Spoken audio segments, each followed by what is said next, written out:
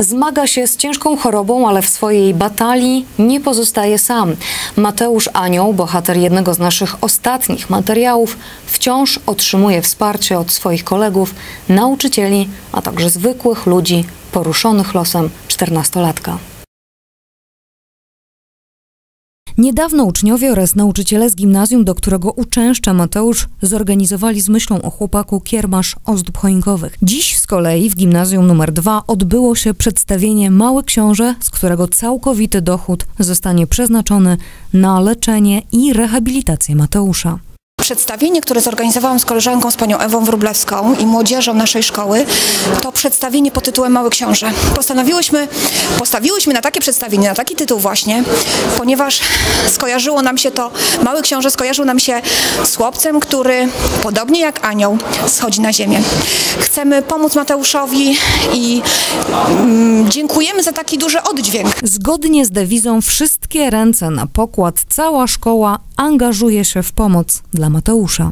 Ja jestem tak osobiście zaszczycona tym, że możemy, robiąc coś, co kochamy, od razu pomóc drugiej osobie i to jest takie, no, taki miły gest od nas, bo my się spełniamy w tych rolach w teatrze i w ogóle, a przy tym wszystkim od razu możemy pomóc Mateuszowi i no i to chyba jest najważniejsze. Jestem bardzo dumna z moich wychowawców, z nauczycieli, z uczniów, którzy wielokrotnie podejmują akcje charytatywne, no a w tym momencie jest to taka szczególna sytuacja i chcemy pomóc y, Mateuszowi.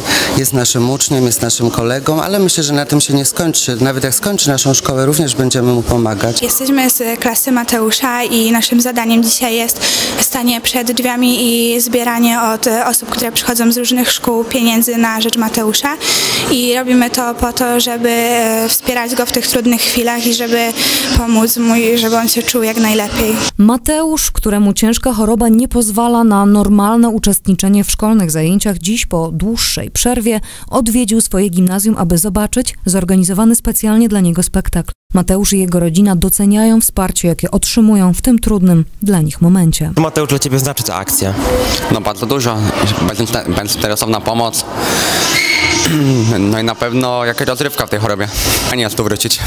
Jest to na pewno nieoceniona pomoc. Dziękujemy przede wszystkim naszej kochanej wychowawczyni, pani Ewie Chojeckiej, e, wszystkim dzieciom ze szkoły, całemu gronu pedagogicznemu. Naprawdę wiele osób włączyło się w tą akcję i bardzo serdecznie dziękujemy. No po prostu nie da się tego określić, co to dla nas znaczy. Naprawdę bardzo wiele.